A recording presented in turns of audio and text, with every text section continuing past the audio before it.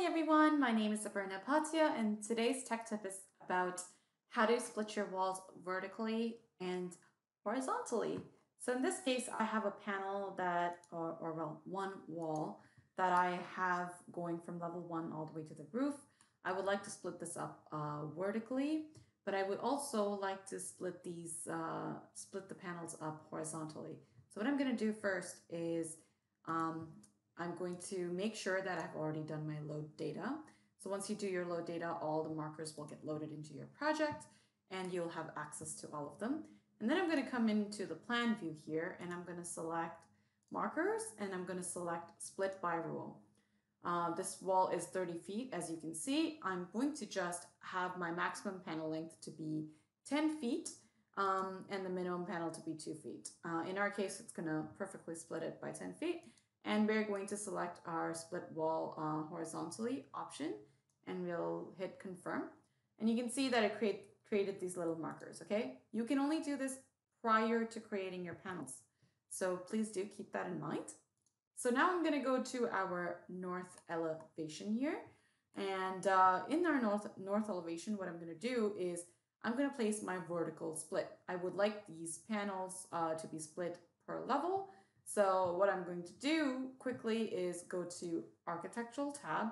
Uh, for the vertical split, we need to place it manually. So I'm going to go click on the component, uh, components, and then I'm going to look for, right now I already have it selected, but if you did need to look for it, um, you can uh, type in SPLIT split, and you can choose the split wall vertically option.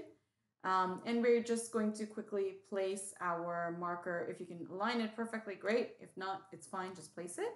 And then we'll align it later. So hit AL and then click on the level and click uh, on the marker and it will align that to the level.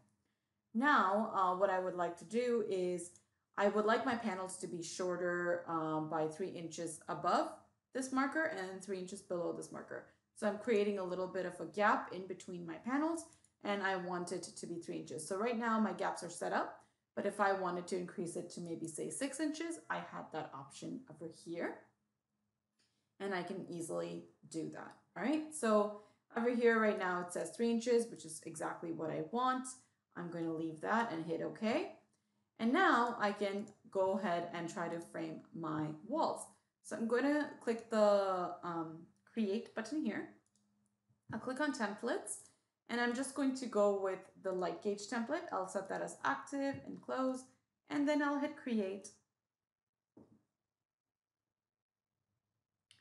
And you can see that it's creating all the panels here. So we just created six panels out of one wall using our split markers. That's it for this week's tech tip. Have a great day.